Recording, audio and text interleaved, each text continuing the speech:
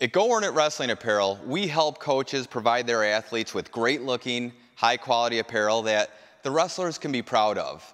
Our business focuses on three things great products, great prices, and the best service you've ever had.